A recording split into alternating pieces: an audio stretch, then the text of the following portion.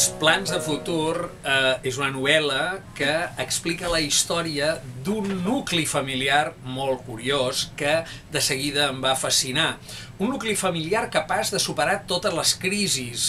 D'entrada, la desaparició d'alguns dels seus membres perquè acaba quedant una sola dona a càrrec de quatre criatures, una de les quals, en Ferran Sunyer, va amb cadira de rodes i té molts problemes eh, aparents. Després resulta que ell és un geni, un geni de les matemàtiques i que eh, tota aquesta família acaba eh, envoltant-lo transcrivint sense acabar d'entendre totes les seves grans descobertes científiques i superant també crisis de dimensions més socials, més àmplies, com ara la Guerra Civil,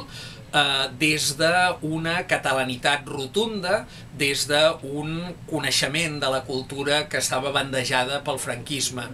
Eh, plans de futur, novel·la, l'esperança, la capacitat per superar moltes adversitats, per enfrontar-se a moltes crisis i per descobrir uns quants secrets familiars que expliquen com és que aquest nucli familiar va acabar sent tan i tan peculiar.